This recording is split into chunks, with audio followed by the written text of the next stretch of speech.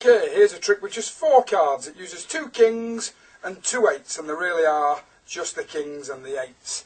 I give them a little mix, like so, so nobody knows what order they're in.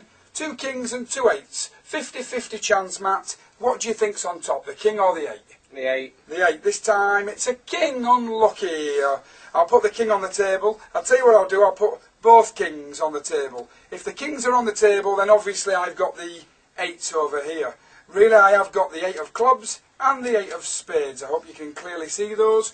Watch as I just square them up, snap the fingers, and they just change as if by magic into the kings. Full faces, full backs, and over on the table now are the two eights.